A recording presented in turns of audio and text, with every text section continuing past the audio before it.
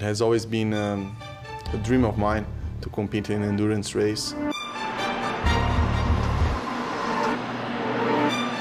The best way to, to start is uh, with the best team.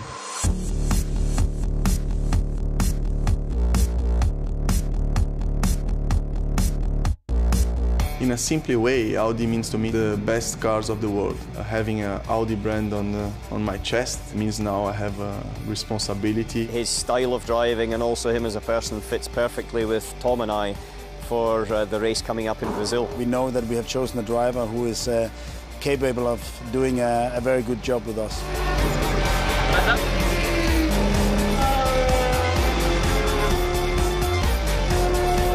For everyone that likes motorsport, our first WEC event in Interlagos, Brazil, come and join us.